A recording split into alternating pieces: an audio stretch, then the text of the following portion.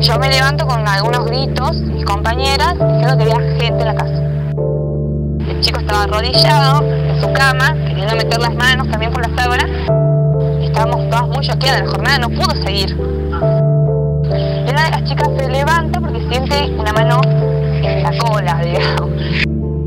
Y no, y no, no, no nos daban el nombre hasta que dijeron, bueno, sí, se llama Josué Romero.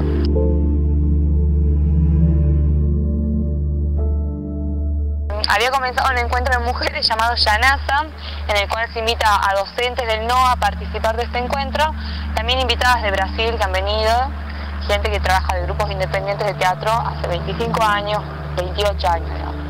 Después el día sábado vemos que llegan al, cerca del mediodía un grupo de chicos que ni- o sea, nunca nos preguntamos de dónde eran ni nada porque calculamos que vienen con algún docente porque son las casas que se dan para hacer este, algún, no sé, reuniones universitarias.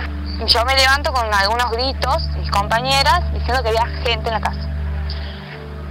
Bueno, salimos corriendo, eh, salimos corriendo todas, se quedó un par, digamos, en la casa, estaban muertas.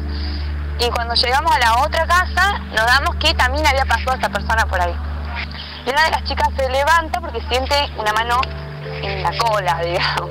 Entonces, ella, claro, estaba durmiendo bombacha, digamos, la sentía la mano. Entonces ella cuando se da vuelta, lo ve, lo ve y se queda paralizado un rato mirándolo y lo ve como estaba vestido. Cuando el chico se queda mirándola y sale sin ningún tipo de, no sé, nada, sale tranquilo él de la habitación. Ahí una de las chicas también se levanta y dice que sí, que había visto también ella, el chico estaba arrodillado en su cama, queriendo meter las manos también por la sábana, y ella dormida, le pide el o sea, hace esta acción como diciendo no me quisiera sábana, pero porque estaban durmiendo, ¿no? Y ahí la que estaba al lado se despierta entonces la que estaba al lado logra verlo a este chico, digamos, pero también esto, el miedo como nos ha paralizado. Y de ahí el chico se va así, con total impunidad, se, va de la casa. Fueron las docentes quienes salieron, fueron las primeras en ir a la casa de estos chicos. Y cuando ahí pedimos que salgan todos. Y había uno que no salía. Y uno dijo, vos también vení. Entonces cuando salen, lo reconocen las chicas y dicen, vos, vos has sido, vos has sido, y las otras que estaban en otra casa dicen, sí, él es, ¿qué pasa? Nosotros somos de la franja. Entonces decimos, ah, bueno, las profesoras dicen, bueno, ¿quién está el profesor a cargo de, de ustedes? Porque estas casas tienen que venir con un profesor a cargo. No, no, nosotros no tenemos profesor a cargo. Ah, ¿y cómo consiguieron la casa?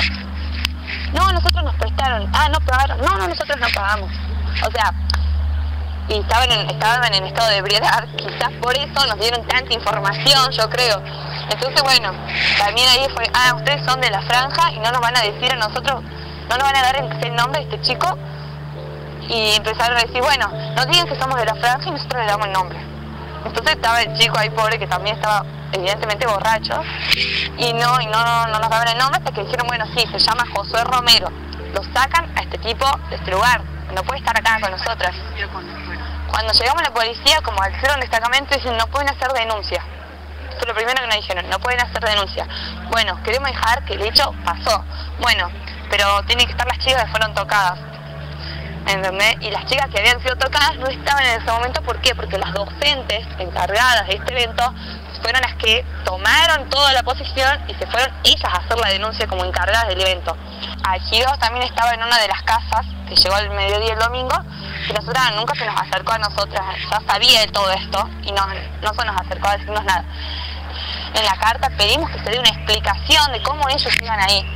Bueno, ese expediente, que es el expediente 1330, ese expediente tiene que ser seguido, o sea, es seguido por las docentes y por nosotros también. Ese expediente tiene que llegar al giro. Cuando ese expediente llegue al giro, bueno, ahí se va a tomar una medida. Eh, lo que ha sido muy sorprendente que sucede ahora en este marco de lo que está sucediendo en lo que es universidad, que es un hecho que ha pasado con docentes de la universidad, con estudiantes de la universidad, en, en las instalaciones de la universidad. O sea, no es que queda fuera, que ha pasado acá en el parque, no, está dentro de la universidad. Entonces como que no nos pueden venir a patear, chica, no ha pasado dentro de la universidad. De eso tienen que hacerse cargo la, la facultad porque gracias a esto han aparecido dos chicas más que han contado un hecho que ya tuvieron con este muchacho, que no es algo aislado, y bueno, Me parece que esto sí es importante, porque gracias a, un hecho que se da a conocer, se empiezan a conocer mismos sobre la misma persona, como para evitar también futuros.